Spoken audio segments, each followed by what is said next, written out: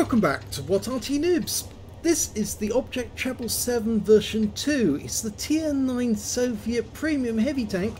It's located on the south spawn of Ensk Encounter and is being driven by Marky 12 as an example, or rather a demonstration of what this tank can do to try and help other players improve their game. Now it's got a 122mm gun capable of 440 alpha and with standard ammo it'll penetrate 258mm of armor and with premium rounds it'll go up to 340. You don't often need the premium rounds unless of course you're in a tier 10 game but most of the time you don't even need them at all. And if you saw in that last battle that we did featuring Marky 12, he managed to last the entire battle against tier 10s, didn't fire a single heat round during the entire game. Okay, Ensk, it's a, a game that's actually built, or the map that's built for heavy tanks brawling in the city grounds. The unfortunate thing is that this tank doesn't side scrape very well, mainly because the turret is actually in the centre of the tank rather than out the front. If it was at the front of the tank, then it might be a better side scraper. Okay, he's got the help of the Panther 2s coming up behind him. And he's holding this corner at the moment. As you can see, the because the turret's further back, actually, it does make this a worse side scraper right in the middle of the tank. The hull's fairly, well, weakish. It's got 258mm of armour on the front of the turret. And he gets the first round into the object treble 257, but he can only hit the tracks. And now he's going to get a Panther 2 shooting in his side whilst we're dealing with his front. Bad news for him because our AP rounds are easily able to go through the hull of the 257 and all Marky needs to do is position himself in such a way as he can get shots on target. He's only using sniper mode when he needs to. Got a, a low roll there for 359 right through the side. All three tanks are firing at him. This 257 is going to die any second. And it's Marky who gets the kill. Unfortunately, we lose the Tiger 1. But he thanks the Panther even so. And the, the Panther's still in the game. He's lost a few hit points, I think. No, he hasn't. He hasn't lost any, actually. And look at this 53 TP. He's not paying attention. And as a result, he takes his first round from Mikey. Marky, I should say, who goes up to him, pumps one into him. And because he's trying to face grapple, he's got a tough turret. He's not easily going to be able to get through the turret. He bounces one round from the 53 TP and this time it's a Jagdtiger 88 who gets the kill shot on the 53 TP so that's a, really tough tank the 53 TP taken down by other tanks and he didn't have to use a single round of premium ammo to do it. Notice how he's staying out of sniper view when he doesn't need to be in it. He's got a Tiger P ahead of him. This guy's going to be easy to deal with. He's tier 7 and he's up against the tier 9 premium heavy and even though he's got two tanks attacking him, including a Kanonenjagdpanzer, no problem penetrating that guy, taking him out the game. Now he can deal with the Tiger P. And even though the Pantera's turned up, he's only hit the tracks. The Tiger does get a penetration, but now the Tiger's facing two enemies. And the kill shot actually goes to the Scorpion G. Now we're going to deal with the Pantera, and there's two tanks on him at the same time. Panther's with us. Okay, we take one shot and pull Oh, no, that we didn't get that one in, but the Pantera didn't punish us, and the Scorpion G got the kill on that one as well. With three tanks up on the enemy, still no premium ammo used, he's out of sniper view, moving towards the enemy, can see his tank clearly, see all around, and if necessary, he can do a quick look behind him to see what's going on. Just hold down his right hand mouse button and turn the mouse to look the other way. But he's back into his uh, standard view He's found the last few enemy, or rather some of them, including an M445, M445 here, there we go, puts one into his rear for 443, a high roll. Potentially he's now got the high caliber. The guy's just around the corner, he's taking damage, he's now one shot, this is for a kill, and he gets it. So that's three kills now for Marky. You can see how good a player he is. Selectively picks off these enemies and he's got the help of other tanks to do it. There's only there's only six enemy tanks left now and he's found the enemy arty and, uh, well two of them actually. One shot's enough to deal with the M12 Because of course he's got such a high alpha. One shot's all he needs if he can get it on target. He could use the uh, HE rounds, but instead he's just going to use standard. There we go. Several. Yep. Got his Pascucci's. Now he's going to deal with the Jagdtiger 88. It's one of the last three enemies on the uh, battlefield. He'll, he does take a pen from the 88mm round. And remember that guy's got a fast firing gun. He takes another round, but he's not bothered about this because he's got plenty of hit points left over. Punches around through to kill the Jagdtiger 88 with the help of the Panther. And he thanks him as well. That's good comradeship. Out of sniper view now, he's aiming for... Oh, now he's in sniper view on an object 430 at distance. And there's an enemy object treble 72 over there as well. Can he get shots? Well, the 430's out the game. The Panther got him. And now it's just that treble 7-2 and he's being penetrated through the hull.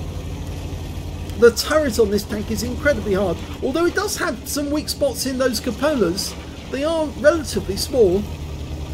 So difficult to aim at.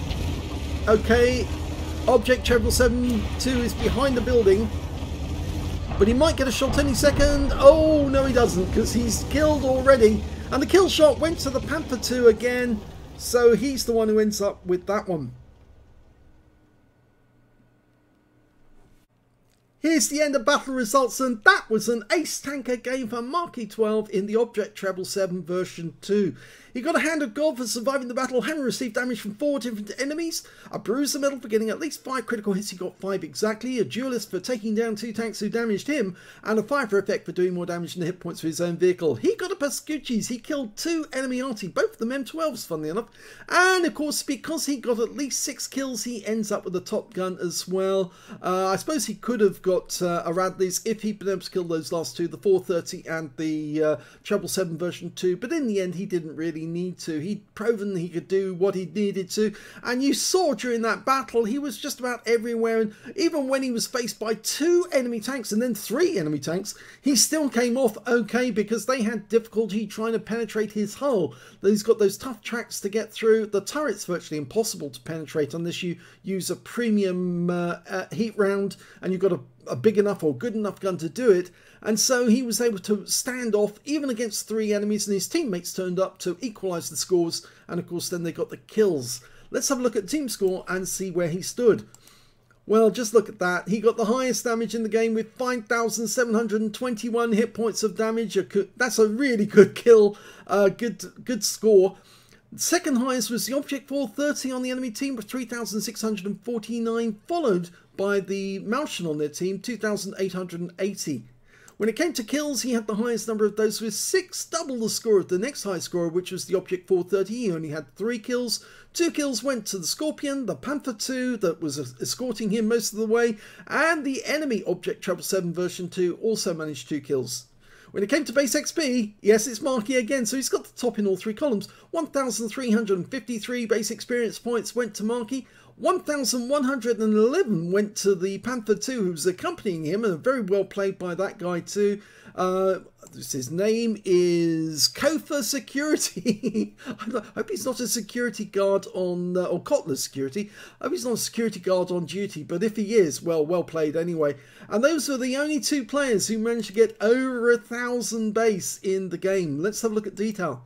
16 shots fired, 15 direct hits, 14 penetrations, Damage of 5,721 hit points, all of it done at close range. Nine hits received from the enemy, and they only got four penetrations. That's why he got the Hand of God, and five non-penetrations. And most of the penetrations that did damage to him, well, they didn't do much. 1,340 hit points of damage blocked by armour, 3 enemy vehicles spotted, 8 enemy vehicles damaged, 6 killed, and he earned 53,826 credits on the game and after repair and ammunition resupply took away 49,419 credits profit. 1,353 XP, 102 for this being a premium vehicle, took away 2,132 experience points altogether. So you see, it is possible to ace this vehicle, and it is a very tough vehicle, and if you can work with somebody else and work together as a team, then it makes it incredibly difficult for the enemy to take you down, because with that gun and you're at that Alpha 440, Um, and this tank doesn't have a great DPM, but it's really the, the fact that it does have a very strong turret, a very good alpha damage, a very good pen on the enemy, and so eventually working in a pair, in a in a tandem with another player, you can really do some serious damage to the enemy team, and of course pull off victories like this. So now we're going to look at uh, one of Mikey's games after he um, took all of this information on board and see how he did. And here's Mike 1963-1 in his version, Object Set Travel 7 version 2, on the south southwest, southeastbourne of Fjords, and battle has started. I don't think he's loaded in yet because his gun's dropped. oh, he has now. Okay.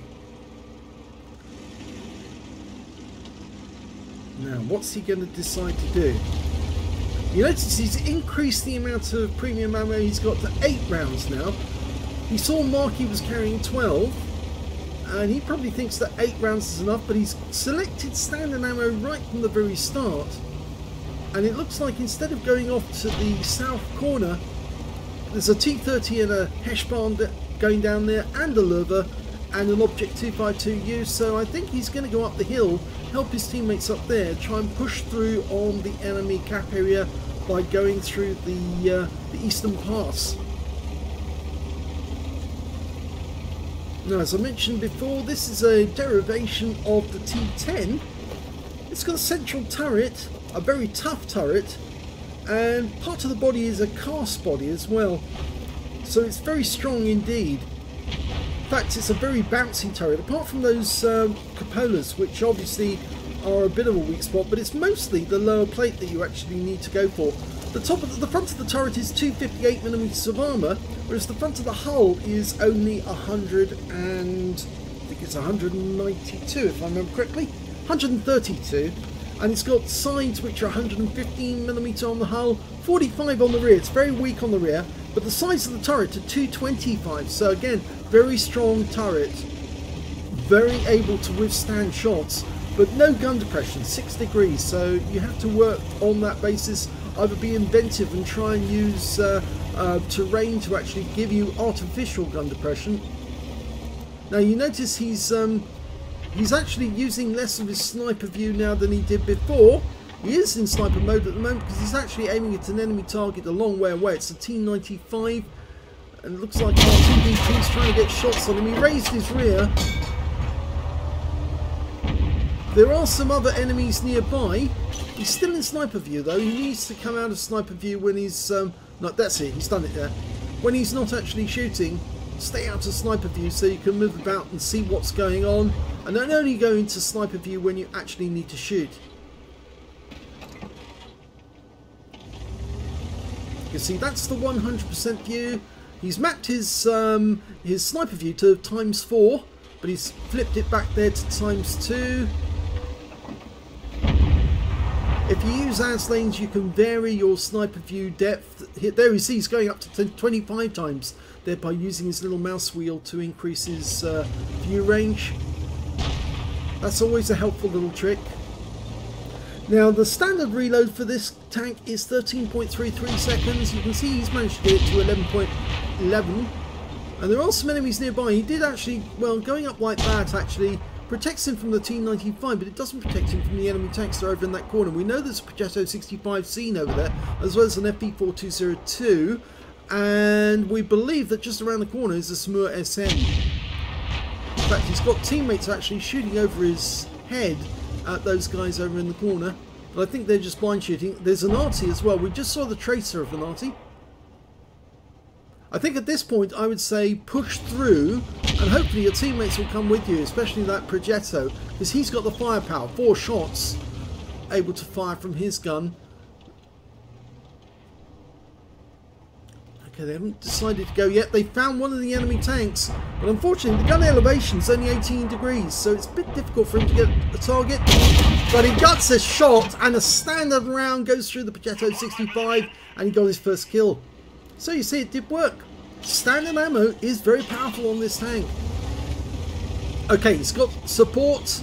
The Star 1's going for it. The Progetto's going for it. Now's the time to go. The FV4202 is out of position.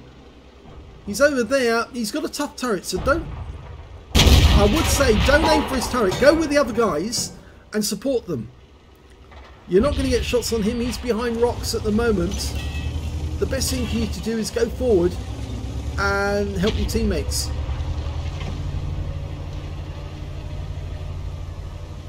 Okay, they've come up against that Somua, I think, and he's going to go round the corner. He should come out of sniper view at this point while you're moving forward. That's it, he's done it. Good. He's learned his lesson on that. Come out of sniper you until you absolutely need it. That's it. Come around the corner. Unfortunately, we lose one of our teammates. Now push forward. The Somua's gone. Keep pushing. The, the Progetto got him. He's got the firepower to, to take down the Somua. There's the FV4202 now. Aim for the hull. Yes! 474 with standard ammo. It worked. He didn't have to bleed eight heat rounds. You can do it with standard ammo. Keep moving. Keep moving. Keep moving. Use those uh, chimes, those passes, to actually dive in if you need cover. The FV4202 pumps, pops out too far. And Mike gets his first, ki second kill. Was it third kill? I think it's his third kill actually, that one. And he's now, well, he, he didn't come out of sniper view there, but he, had, he did there, yes. And there's only four enemies left. And they're out of position. And now we've got the ELC in the cap area. I think he's going over to find the arty. Yes, he's going across the bridge. He's going to find the enemy arty and put him out. Whereas Mikey is now shooting into the Char Futur 4, the other tier 9 reward tank. Now notice how these rounds will just carve straight through that char. Oh, just narrowly missed the turret. Unfortunately, he can't get the hull at the moment, but he can certainly punch that turret. Keep pushing him, pushing. Don't need to stay in the cap. Cake out a sniper view. That's it. Now! Yes! Kill! He got that kill and now he's got another enemy tank up and he can penetrate that one because it's the Conqueror and he's got virtually no health left. No, don't aim for the turret. Go for the body. The body. Go for the body. You'll easily pen that. And the Conqueror dies to our Heshbon. And that is the end of the game. And it's a lovely victory. And he asked for good advice, got good advice, and it worked. It worked beautifully. Mike 1963-1 in the Object 777 version 2 got a third class tanker in that game. He got a duelist setting down two tanks who damaged him. And I think he had a much better game because he was using standard ammo instead of the premium ammo. And he was using his tank to its uh, good points by uh, pushing on the enemy, uh, forcing them to bounce rounds off him. Uh, let's have a look at team score and see where he is. He didn't get the highest damage in the game. The Heshbon on their team did incredibly well. That guy managed to get uh, 8,337 hit points of damage from the game. The next high scorer was the Conqueror on the the team with 3,634. Aim for the body next time, not the turret. The turrets are tough, the bodies are weak. You can take them out if you hit the body. The third highest damage was the M60 with 3,390 hit points of damage to him. Um, but uh, we can see that Mike did well. He got 1,597 hit points of damage using standard ammo. And when it came to kills, it was the Heshbon who got the most with five. Three kills went to Mike. Yes, he was the second highest on kills. Two kills went to the Progetto and the TVP T5051. And when it came to base XP, the Heshbon did the most with 1,167. He got over a thousand. Um, and the next high score was the ELC EVEN 90. He was, of course, spotting as well as uh, damaging. And then we got Mike with third with 762 on XP. Very well done. Uh, he's obviously taken on board everything that Marky 12 said and others said. And yes, he's now getting the best out of the Object Treble 7 version 2. Let's have a look at detail. 9 shots fired, 5 direct hits, 5 penetrations, damage of 1,597 hit points, of which 434 were at more than 300 metres. He received 6 hits from the enemy, 3 of them penetrated, 3 non-penetrations, and he blocked damage of 1,010 hit points of uh, on his armour. Three, three enemy vehicles were damaged, three were killed, and 233 hit points of damage assistance. He earned 22,200 credits from the game, got 50,000 for completing a mission, and after repair and ammunition resupply, he actually took home 63,115 credits. Even if he hadn't got a personal mission payout, he still would have made a profit of 13,115 credits. So that lower ammunition cost by using standard ammo really does work for him. He only needs to use the heat if he comes up against somebody that he cannot pen with standard ammo. And you're rarely going to do that unless you come across tier 10s, uh, things like mice and whatever, mouse I should say. Um, you really you really need to hold those in reserve and only use standard AP until they're absolutely necessary. He earned 782 XP, got times 2 for the first victory, 57 for this being a premium vehicle, and took away 2,343 experience points altogether. So if you get asked for good advice on the WOT Arty Noobs channel on their Facebook page, you get good advice. You don't get uh, um, people teasing you or, uh, or calling you a noob. What you actually get is you get people telling you, do this, do that, you'll get good results. And just look at these two videos. It shows you how much Mike has actually learned from the information that he was given by Marky12 and others. And he's now actually performing much better than he did before, getting a profit. He's not, uh, he's making good decisions and uh, having a good game out of it. So uh, I uh, hope you enjoyed both of these replays. If you did, please give our video a like, do subscribe to our channel, leave a little comment down below because it feeds the algorithm